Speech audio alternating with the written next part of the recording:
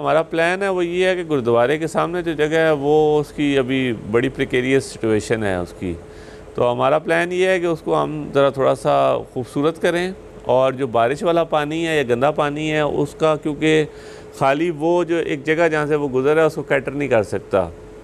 तो उसका हम एक ऐसा सिस्टम बनाएँ कि हम उसको और साफ़ पानी को बिल्कुल अलग कर दें, ताकि जो लाला रुख पार्क में जो तालाब है, उसके बाहर जो जगह हैं जहाँ में मोटर वाला पानी ऊपर से आता है, वो सारा साफ़ पानी जो है वो अलग हो जाए, वहाँ पे जिस तरह पहले एक खूबसूरत टाइलें लगी हों नीचे और उसको सिस्टम को बेहतर किया जा सके।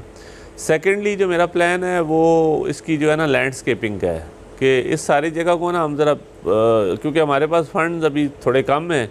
अगर ज़्यादा होते तो हम तो रोड एक्सटेंड करते इसको, लेकिन फ़ंड्स की कमी के वजह से हम डोनेशन से इंशाल्लाह ना इसको लैंडस्केपिंग भी करवाएँगे, साफ़ पानी को अलग करेंगे। इस पर जो हमारा एस्टिमेटेड सारी कॉस्ट है, वो हमने तकरीबन तैयार कर ली है। सेकेंडली हमारा प्लान ये है कि इंशाल्लाह ये जो हमारा सामने प्लॉट है एमसी का, उसमें हम कोशिश कर रहे हैं कि फ़ूड स्ट्रीट हसन अब्दाल के लोगों के लिए बनाई जाए।